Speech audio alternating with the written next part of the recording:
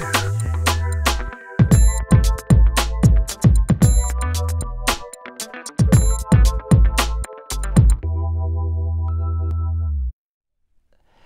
Bonjour à tous et bienvenue pour cette nouvelle lecture matinale à travers l'ouvrage de Yves-Alexandre Talman intitulé Les fabuleux pouvoirs de la psychologie positive aux éditions Jouvence.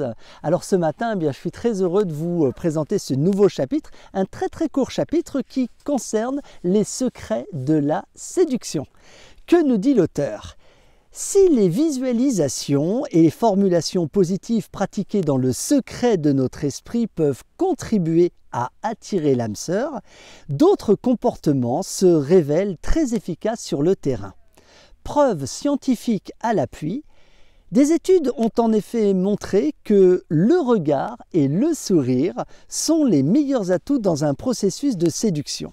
Le regard tout d'abord. En effet, un échange de regards entre deux personnes augmente les chances qu'une conversation soit initiée entre elles. Une expérience consistait par exemple à demander à une fille entrant dans un bar de fixer dans les yeux le premier garçon de son âge venu durant plus d'une seconde. Des chercheurs mêlés aux autres clients comptaient alors le nombre de coup d'œil lancé par ce dernier à la jeune femme en comparaison avec le comportement des autres hommes dans l'établissement. Résultat, trois fois plus d'œillades de la part de l'individu dévisagé. La personne en recherche d'amour ne doit pas lésiner sur les regards lancés aux individus qui lui plaisent, sans toutefois être trop pesante ou inquisitrice.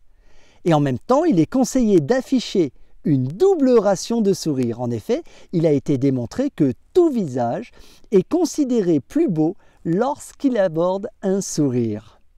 De même, un sourire féminin adressé à un homme augmente significativement la probabilité que ce dernier initie une conversation.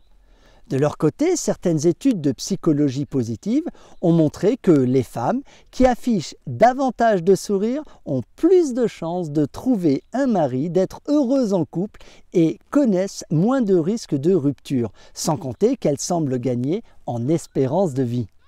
Si vous cherchez l'amour, entraînez-vous à sourire et regardez les gens. Et si vous optez pour les visualisations, eh bien, peignez des sourires sur votre visage.